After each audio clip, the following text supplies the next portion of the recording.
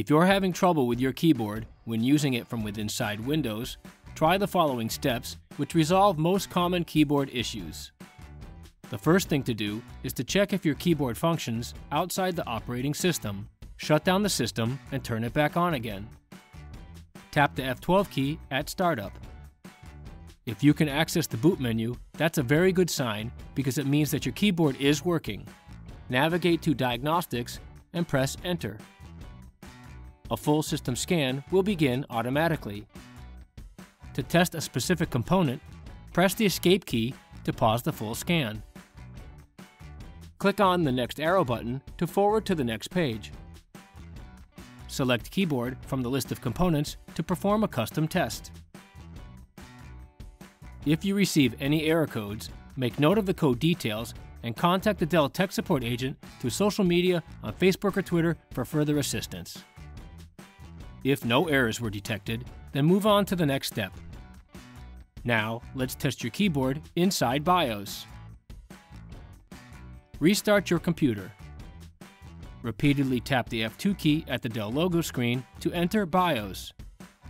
From the list of settings, expand Security and try setting up a password within BIOS. Check whether the system recognizes any keyboard keystrokes. Keystrokes will appear as an asterisk. If the system does not recognize any keystrokes entered from your keyboard, then continue with the next step.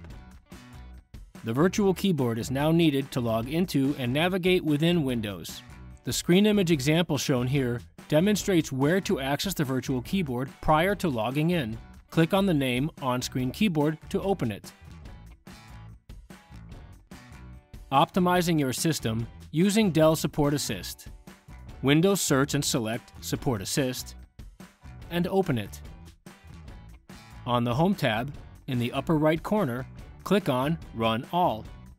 Follow the on-screen instructions and restart your system if prompted. Did this resolve your keyboard issues? If not, go on to the next step. Check to see how the keyboard performs in safe mode. Click on the Start menu and go into Settings. Select Update and Security. Navigate to Recovery and under Advanced Startup, click on Restart Now. After your PC restarts, on the Choose an Option screen, select Troubleshoot. Select Advanced Options, and then select Startup Settings, and click on the Restart button. After your system restarts, press the F4 key to enable Safe Mode. Once you're in Safe Mode, test your keyboard to see how it performs. If it's functioning properly, then move on to the next step. If it isn't, then contact the Dell Tech Support agent through social media for further assistance.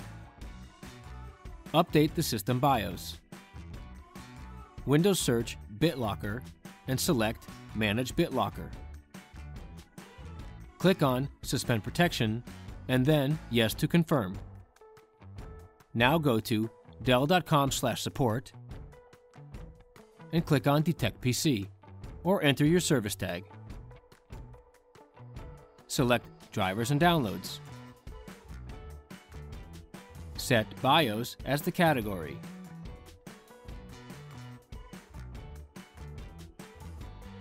Download the latest update available and run the executable file. Click on Update and follow the on-screen instructions to complete the process. If you are updating the BIOS on a laptop, make sure the battery is present and the AC adapter is plugged in. If after all these steps you are still having keyboard issues, contact the Dell Tech Support agent through social media on Facebook or Twitter for further assistance. Keep in mind that we have many more helpful tips and tutorials available on this YouTube channel, so become a subscriber today. If you like this video, give it a like, and thanks for watching.